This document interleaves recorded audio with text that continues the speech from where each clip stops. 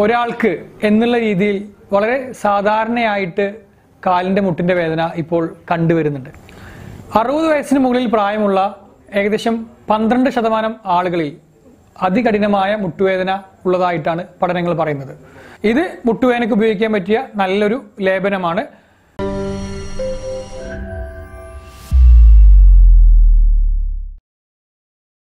ഒരുപാട് ആളുകൾക്ക് പ്രയാസമുണ്ടാക്കുന്ന രോഗമാണ് കാൽമുട്ടിന്റെ വേദന. ഒരു വീട്ടിൽ ഒരാൾക്ക് എന്നുള്ള രീതിയിൽ വളരെ സാധാരണയായിട്ട് കാലിന്റെ മുട്ടിന്റെ വേദന ഇപ്പോൾ കണ്ടുവരുന്നുണ്ട്.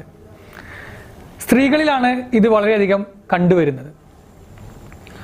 അറുപത് വയസ്സിന് മുകളിൽ പ്രായമുള്ള ഏകദേശം പന്ത്രണ്ട് ശതമാനം ആളുകളിൽ അതികഠിനമായ മുട്ടുവേദന ഉള്ളതായിട്ടാണ് പഠനങ്ങൾ പറയുന്നത്.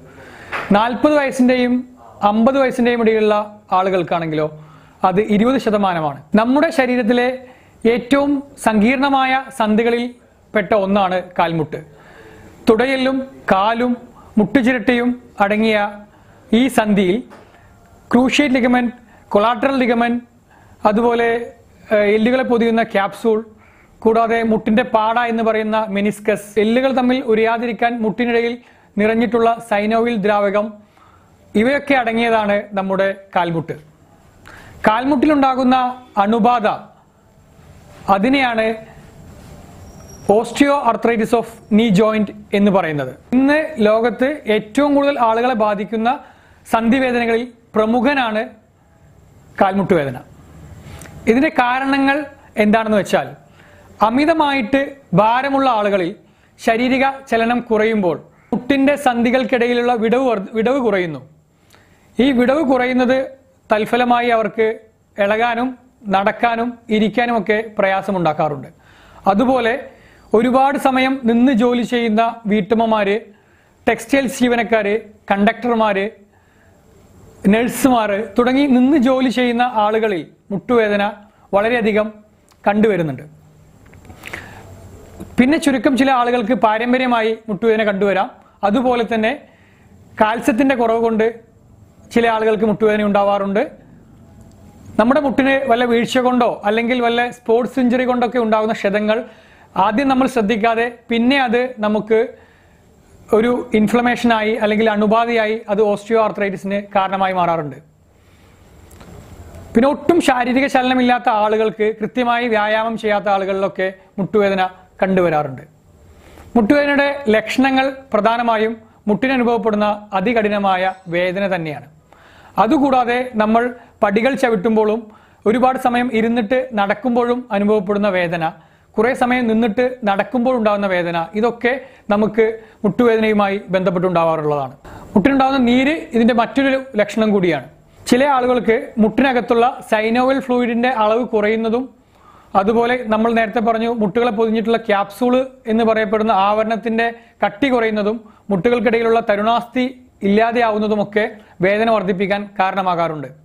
സ്ത്രീകളിൽ ആർത്തവിരാമ സമയത്ത് ശരീരത്തിൽ കാൽസ്യത്തിന്റെ അളവ് കുറയ കുറഞ്ഞ് അത് ഓസ്റ്റിയോപ്രോസിസ് എന്ന് പറഞ്ഞ ഒരു അവസ്ഥാവിശേഷം ഉണ്ടാവുകയും അത് സ്ത്രീകൾക്ക് മുട്ടുവേന ഉണ്ടാക്കാറുണ്ട്.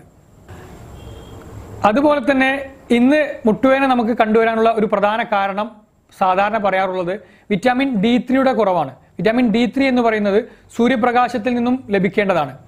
അത് നമുക്ക് ഇന്ന് വളരെ കുറവായതിന്റെ പേരിൽ പലർക്കും മുട്ടുവേദന ഉണ്ടാവാറുണ്ട്. ഈ വിറ്റാമിൻ ഡി ത്രീ ആണ് ശരീരത്തിൽ കാൽസ്യത്തിന്റെ അബ്സോർപ്ഷൻ അഥവാ കാൽസ്യം നമ്മൾ കഴിക്കുന്ന ഭക്ഷണത്തിൽ നിന്നും സ്വാംശീകരിക്കാൻ സഹായിക്കുന്നത്. അപ്പോൾ ഇതിന്റെ അളവ് നമുക്ക് വളരെയധികം കുറയുന്നതും മുട്ടുവേദനയ്ക്ക് കാരണമാകാറുണ്ട്. മുട്ടുവേദന നമുക്ക് വരാതിരിക്കാൻ നമ്മൾ ശ്രദ്ധിക്കേണ്ട കാര്യങ്ങൾ നമ്മൾ കൃത്യമായ രീതിയിൽ വ്യായാമം ചെയ്യുകയും നമ്മുടെ ജോലിയുടെ സ്വഭാവം കൃത്യമായ രീതിയിൽ ലഘൂകരിക്കുകയും ചെയ്യേണ്ടതാണ്. നിന്ന് ജോലി ചെയ്യുന്ന വീട്ടമ്മമാർ അവരുടെ നൃത്തത്തിനിടയിൽ കൃത്യമായ ഇടവേളകളിൽ ഇരിക്കുകയോ അല്ലെങ്കിൽ വളരെ ചുരുങ്ങിയ ഇടവേള കൊണ്ട് അവരുടെ ജോലികൾ തീർക്കുകയോ ചെയ്യേണ്ടതാണ്. അതുപോലെ യോഗാസനം പോലെയുള്ള വ്യായാമങ്ങൾ നമ്മൾ കൃത്യമായി ചെയ്യേണ്ടതാണ്. കൂടാതെ പ്രോട്ടീൻ വിറ്റാമിൻസ് അതുപോലെ ഇരുമ്പ് നമുക്ക് ആവശ്യമായിട്ടുള്ള കാർബോഹൈഡ്രേറ്റ് തുടങ്ങിയ എല്ലാ പോഷകങ്ങളും അടങ്ങിയിട്ടുള്ള പയറുവർഗങ്ങൾ നട്സ് പാൽ മുട്ട മാംസം എന്നിവ നമ്മൾ കൃത്യമായ രീതിയിൽ നമ്മുടെ ഭക്ഷണത്തിൽ ഉൾപ്പെടുത്തേണ്ടതാണ്. അതുപോലെ തന്നെ പണ്ട് കാലങ്ങളിലൊക്കെ നമ്മൾ കാൽ മടക്കിയിരിക്കുന്ന ശീലം വളരെ സർവസാധാരണമായിരുന്നു.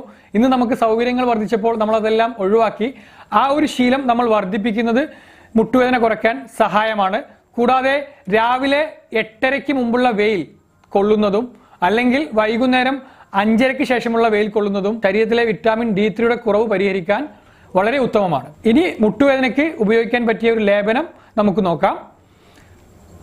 ഒരു ചെറിയ കഷ്ണം ഇഞ്ചിയും ഒരു കഷ്ണം വെളുത്തുള്ളിയും ചതച്ചിട്ട് നന്നായി അരച്ച് അതിൽ കുറച്ച് കല്ലുപ്പും കൂട്ടി മിക്സ് ചെയ്ത് നമ്മൾ വേദനയുള്ള സ്ഥലത്ത് പുരട്ടി വെക്കുക.